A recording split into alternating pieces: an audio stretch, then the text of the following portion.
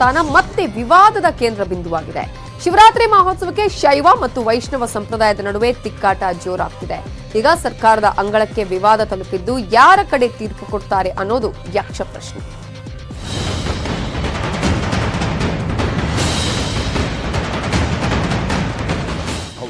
ದಕ್ಷಿಣ ಕನ್ನಡ ಜಿಲ್ಲೆಯ ಕುಕ್ಕೆ ಸುಬ್ರಹ್ಮಣ್ಯ ದೇವಸ್ಥಾನ ದೇಶದ ಮೂಲೆ ಮೂಲೆಯಿಂದ ಅಪಾರ ಭಕ್ತರನ್ನು ಹೊಂದಿರುವ ದೇವಾಲಯ. ಸರ್ಕಾರದ ಬೊಕ್ಕಸಕ್ಕೆ ಕೋಟಿ ಆದಾಯ ತರುವ ಪ್ರಮುಖ ದೇಗುಲ. ಆದರೆ ಕುಕ್ಕೆ ಸುಬ್ರಹ್ಮಣ್ಯ ದೇವಸ್ಥಾನ ವಿಷಯ ಇತ್ತೀಚೆಗೆ ಬರೀ ವಿವಾದಗಳಿಂದಲೇ ಸುದ್ದಿಯಾಗ್ತಿದೆ.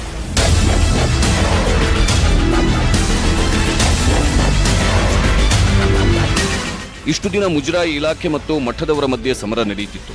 ಈಗ ಕುಕ್ಕೆ ಶ್ರೀ ಸುಬ್ರಹ್ಮಣ್ಯ ದೇವಸ್ಥಾನದಲ್ಲಿ ಶೈವ ಮತ್ತು ಮಾಧ್ವರ ನಡುವಿನ ಕಚ್ಚಾಟಕ್ಕೆ ಹೊಸ ವೇದಿಕೆ ರೆಡಿಯಾಗಿದೆ. ಶತಮಾನಗಳ ಹಿಂದೆ ಈ ಕ್ಷೇತ್ರದಲ್ಲಿ ಶೈವಾಗಮನದ ಪ್ರಕಾರವೇ ಪೂಜೆ ನಡೆಯುತ್ತಿತ್ತು.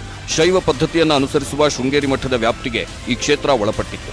ಮಾಧ್ವರ ಪ್ರಭಾವ ಹೆಚ್ಚಾದ ನಂತರ ಹಳೆಯ ಸಂಪ್ರದಾಯಕ್ಕೆ ತಿಲಾಂಜಲಿ ಹಾಡಿತು. ಆಗಮದ ಪ್ರಕಾರ ವೈಷ್ಣವ ಪದ್ಧತಿಯಂತೆ ಪೂಜಾ ವಿಧಾನ ಆರಂಭವಾಯಿತು. ಆದರೆ ಮೂಲ ಪದ್ಧತಿಯಲ್ಲೇ ಆರಾಧನೆ ನಡೆಯಬೇಕು ಎಂದು ಕುಕ್ಕೆ ಸುಬ್ರಹ್ಮಣ್ಯದಲ್ಲಿ ದೇವಸ್ಥಾನ ಹಿತರಕ್ಷಣಾ ಸಮಿತಿ ತಗಾದೆ ತೆಗೆದಿದೆ. ಈ ಸಲದ ಶಿವರಾತ್ರಿಯ ದಿನ ಸುಬ್ರಹ್ಮಣ್ಯ ಕ್ಷೇತ್ರದಲ್ಲಿ ಶೈವಾಗಮ ಪ್ರಕಾರ ರುದ್ರಪಾರಾಯಣ, ಭಸ್ಮಾರ್ಚನೆ, ಜಾಗರಣೆ ಮುಂತಾದ ಕಾರ್ಯಕ್ರಮಗಳು ನಡೆಯಬೇಕು ಅಂತ ಹಿತರಕ್ಷಣಾ ಸಮಿತಿ ಮುಜರಾಯಿ ಇಲಾಖೆಗೆ ಮನವಿ ಸಲ್ಲಿಸಿದೆ. ಇದು ಮಾಧುರನ್ನ ಕೆರಳಿಸಿದೆ. ಸಂಪ್ರದಾಯ ಬದಲಿಸಬೇಡಿ ಅಂತ ಮಧ್ವ ಪಂಡಿತ ಆಗ್ರಹಿಸುತ್ತಿದ್ದಾರೆ. ಏಳ್ನೂರು ವರ್ಷಗಳ ಇತಿಹಾಸದಿಂದ ಬಂದಂತಹ ಒಂದು ಕ್ರಮ. ಅದನ್ನು ಇವರ ಏನೋ ವೈಯಕ್ತಿಕ ವ್ಯಾಜ್ಯವನ್ನಿಟ್ಟುಕೊಂಡು ನೀವು ಬದಲು ಮಾಡಬೇಕು ಅಂತ ಹೇಳಿ ಮಾಡಿದರೆ ಎಲ್ಲಿ ಸ್ಮಾರ್ತರು ಪೂಜೆ ಮಾಡ್ತಾ ಇದ್ದಾರೆ ಅಲ್ಲಿ ಸ್ಮಾರ್ತ ಪದ್ಧತಿಯಲ್ಲಿ ಮಾಡಿ ಅವರಿಗೆ ಅವರಿಗೆ ಬಿಟ್ಟದ್ದು. ಆಯಾ ದೇವಸ್ಥಾನದ ಅರ್ಚಕರ ಒಂದು ಸಮಿತಿ ಏನಿದೆ ಅವರಿಗೆ ಸಂಬಂಧಪಟ್ಟಂತಹ ವಿಷಯ. ಈಗ ಹೀಗಾಗಿಬಿಟ್ರೆ ಪ್ರತಿಯೊಂದು ದೇವಸ್ಥಾನದಲ್ಲೂ ಕೂಡ ಎಷ್ಟು ಮಂದಿ ಇದ್ದಾರೆ ಅವರು ನಮ್ಮ ಪದ್ಧತಿ ಪ್ರಕಾರ ಆಗಬೇಕು ಅಂತ ಪೂರ್ತಿ ಗೊಂದಲ ಆಗಿಬಿಡುತ್ತೆ. ಅದಕ್ಕಾಗಿ ಇವರು ಪೂಜಾರಿಯವರು ಮಹತ್ವಪೂರ್ಣವಾಗಿ ನೋಡಿ. ಹಿಂದೆ ಹೇಗಿತ್ತು ಹಾಗೆ ನಡೀಲಿ ಅಂತ ಹೇಳಬೇಕು. ಒಂದಿಲ್ಲೊಂದು ವಿವಾದಗಳಿಂದ ಕುಕ್ಕೆ ಸುಬ್ರಹ್ಮಣ್ಯ ಕ್ಷೇತ್ರ ಸುದ್ದಿ ಆಗ್ತಾನೆ ಇದೆ. ಮೊದಲಿನಂತೆ ದೇವಾಲಯ ಉಳಿದಿಲ್ಲ.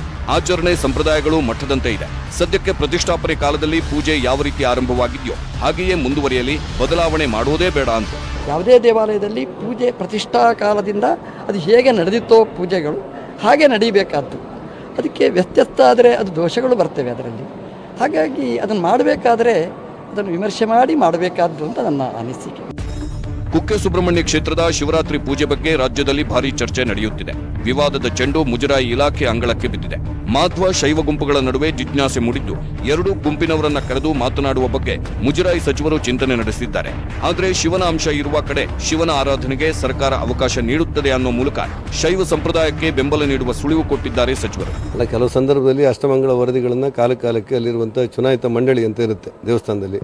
ಅವರು ನಿರ್ಧಾರವನ್ನು ತಗೊಂಡು ಸರ್ಕಾರದ ಜೊತೆ ಸಂಪರ್ಕ ಮಾಡಿ ಮಾಡಿರ್ತಾರೆ. ಅದು ಮಾಡಿಲ್ವೋ ಮಾಡಬೇಕು ಅನ್ನೋದನ್ನು ಚರ್ಚೆ ಮಾಡ್ತೇನೆ. ಕುಕ್ಕೆ ವಿವಾದ ಪರಿಹಾರ ಸದ್ಯ ಬೂದಿ ಮುಚ್ಚಿದ ಕೆಂಡದಂತಿದೆ. ಮುಜರಾ ಇಲಾಖೆ ಮಧ್ಯಸ್ಥಿಕೆಯಲ್ಲಿ ನಾಳೆ ಮಾತುಕತೆ ನಡೆಯಲಿದೆ. ಆಗಮ ಪಂಡಿತರು ಶೈವರು ಮಾಧ್ವರು ಭಾಗವಹಿಸುತ್ತಿದ್ದು ಕಗ್ಗಂಟಾದ ವಿವಾದಕ್ಕೆ ತಾರ್ಕಿಕ ಅಂತ್ಯ ಸಿಕ್ಕಿದ್ರೆ ಅಷ್ಟೇ ಸಾಕು. Parikshit Shet news eighteen Kannada Udupi. ನಾಳೆಯಿಂದ ಕೋವಿಡ್ ಲಸಿಕೆ ವಿತರಣೆ